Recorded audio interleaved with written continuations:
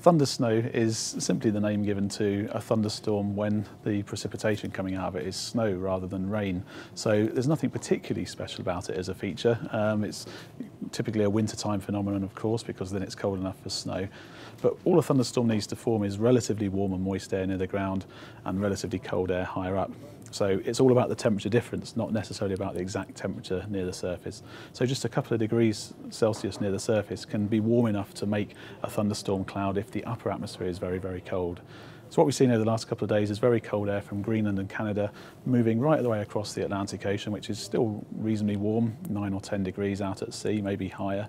And as that moves in, these enormous shower clouds, these big bubbles of energy in the atmosphere form, showers and thunderstorms develop, and it just happens that in some places it was cold enough for that precipitation to fall out the clouds as snow rather than rain. So thunder snow is a, a term that's been coined um, just to describe a thunder and lightning storm, a normal thunderstorm, but with snow coming out of it rather than rain.